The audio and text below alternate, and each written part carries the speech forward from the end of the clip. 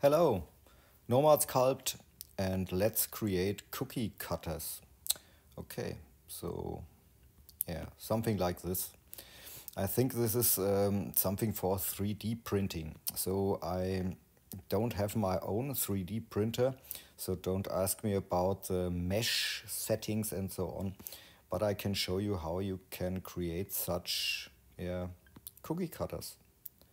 Okay, let's start. So I delete everything and I reset the post process. So the best thing for this is I, th I think is a plain primitive here. So something like this. And my environment is too, and my exposure is too high. And so let's see the wireframe. We need much more topology. So let's use, um, we have to validate first. Let's use multi-resolution and sub this, subdivide this mesh up to a million. So the poly count here, you can go higher. So the more poly count, the finer, yeah, or the cleaner the mesh is. So, yeah. Okay. So the first option is you can use the mask tool and um, and uh, paint here your own object here like this and so this is your your cookie. And yeah this is you can do it um, manually. Every cookie you want you can paint here with a mask. So I show you a few mask settings here. Um, so um, the best thing for a clean mask is a flat fall off here. And so in the in the pr pressure settings are off. And the stroke spacing is about 20% so so you get uh, real sharp uh, mask edges. So when you change the settings he the setting here uh, maybe up to 10 or so and you start here with your brush stroke you see here um, such blur blurry effects here. So this does only work um, with 20%. So here you can start with no blurring. So you can create your mask yourself or you can use the Google picture search here cookie silhouette Christmas free images. So I pick here this image here mm, and save it in the camera roll. So you need black and white images. So yeah, um, you can also use um, yeah colored images, but um, the best thing is a black and white image. So full black and white. Such images here. Yeah. So let's use the mask tool here in the alpha options here. You can change your alpha image and I delete this one and import this picture here.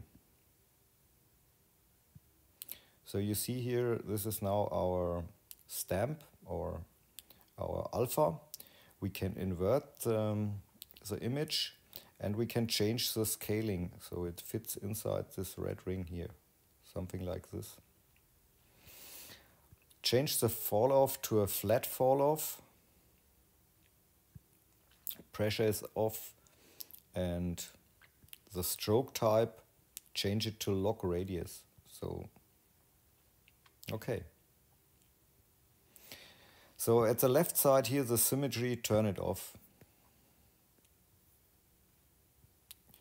And I only activate the symmetry men menu here to see this red line here, to have my exact center point for this. So I pick here now the the pencil and create my mask stamp. Okay. Here in the mask settings we can press uh, one time on the sharpen button and then it's okay. So shell thickness you can set it to zero and activate the smoothness. So when you look inside here this um, this mask you see here uh, blurry edges and now when we extract this and we switch to the solo view. You see here now a sharp clean edge. So something like this.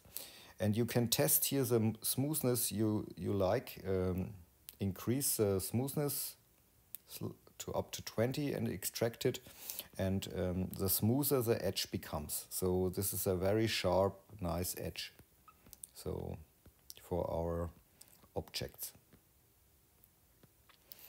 so the next step is um, turn this smoothness uh, checkbox off and tap on the screen so everything is masked and now we can set um, shell thickness so I don't know. Um, I tested, so yeah, it's okay, I think. Something like this. We can change it with a gizmo. So now we have shapes like this. And this this mesh here we don't need anymore. I delete it and this mesh we can also delete. So yeah. and let's look at the wireframe at the moment. So here's a wireframe, here's a grid mesh, and here are only straight lines. But it's okay. So here's a small problem, but I think we can fix this. Okay, so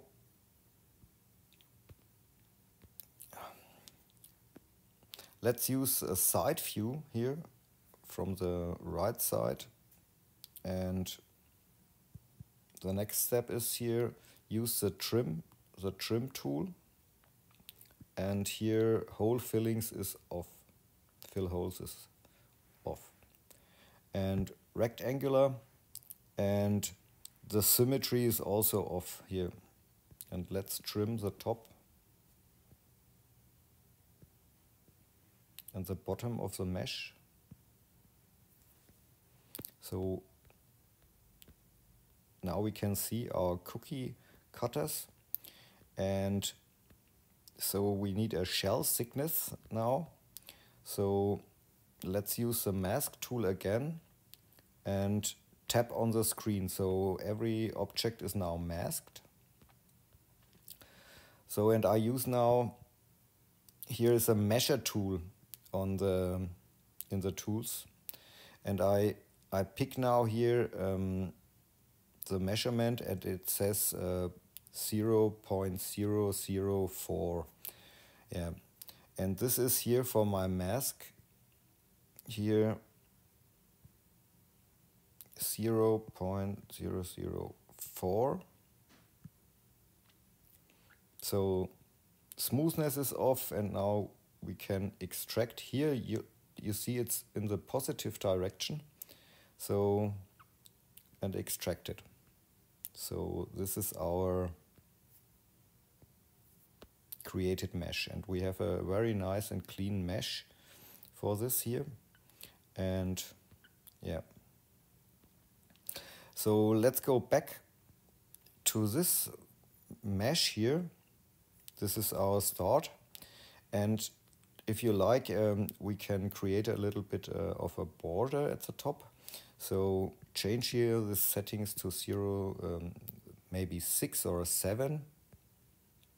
Let's test it. Okay. So this mesh we can delete And this one here, we can change with a with a gizmo. And at the moment we we don't see here the gizmo or because it's somewhere in the in the center here. And but I want to do it here. Here you can use the pivot option and tap here on this on this front face here. On not on the side uh, on, on a flat front face and leave the pivot option. And now we can shrink this um, mesh here so I leave the solo view and then we can see everything. So here you can adjust the, the thing of your yeah border. So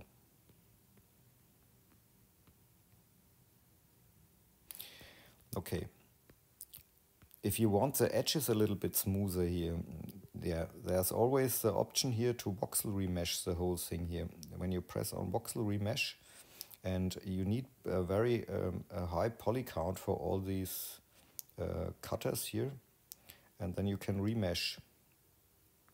So maybe it works without crashing. So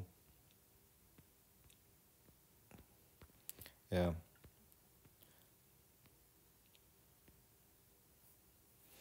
And here for this um, mesh we can change um, the height a little bit. So Gizmo is active, set the pivot.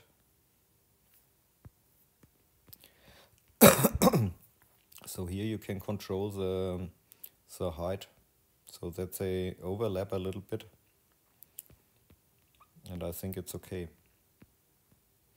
So for this mesh here, for example, when we need round, a little bit round edges here, um, you can use here the, the mask option, press on the screen and set the shell thickness to zero and activate the smoothness here. So now we can extract the whole thing here again. And this one we can hide so you get smooth edges. So if you like. So you have to play a little bit with it. Um, so there's a sharp edge and here's a round edge. Maybe move it a little bit with a gizmo and so on.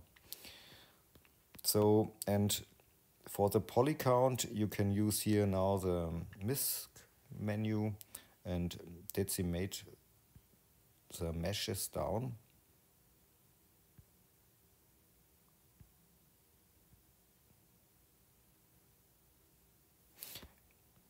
I don't know what's the best poly count for 3D printing. So,